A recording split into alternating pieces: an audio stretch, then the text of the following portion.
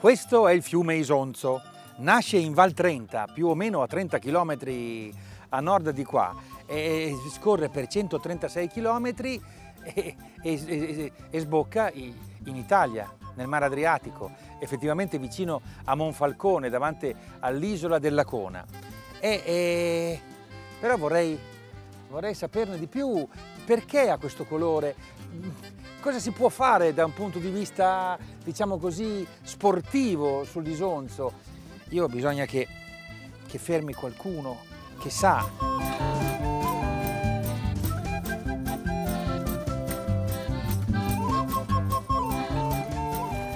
Passerà qualcuno di qua. Hello! Excuse me! Ecco, venga, venga! Buongiorno. Oh, bu buongiorno, parli italiano. Sì. Buongiorno, ciao. ciao. Aspetta, aspetta che ti fermo un attimo perché qui la, la, la, corrente, la corrente è forte. Aspetta che ti do una cintura di salvataggio.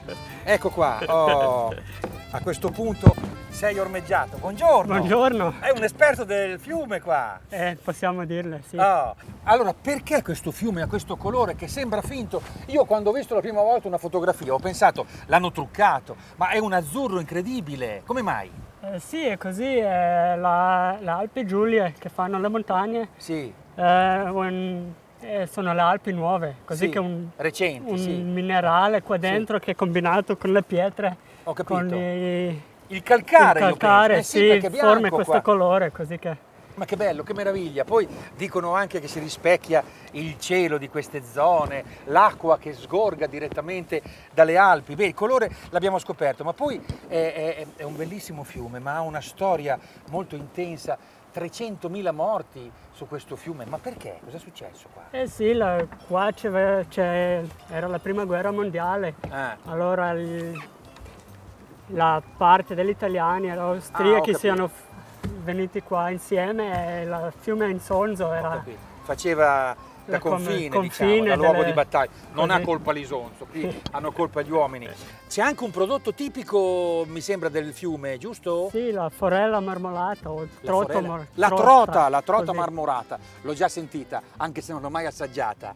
Ma com'è, com'è, com'è? Eh, allora, il trotto marmolato è protetto, protetto adesso. Ah, ho capito. Perché l'hanno pescando Troppo. quanti anni certo. e adesso li, li facciamo ritornare alle fiume. Ho capito, perché qui è, è, anche parco, no? È tutto protetto Sì, tutto questo qua in eh. giro è il Parco Nazionale di Triglav, così che... Di?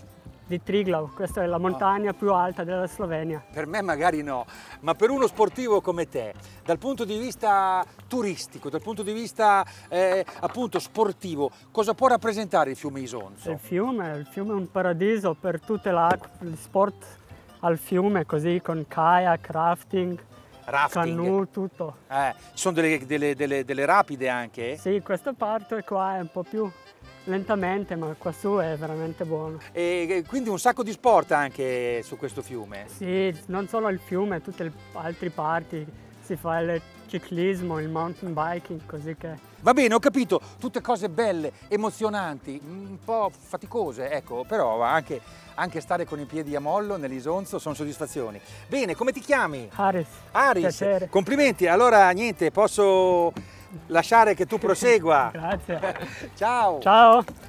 Ma fin dove vuoi arrivare? Fino a Tolmin. Fino al Tolmino? Sì. Bravo. Ancora bella... 10 km. 10 km. Ah, ciao, eh. Ciao.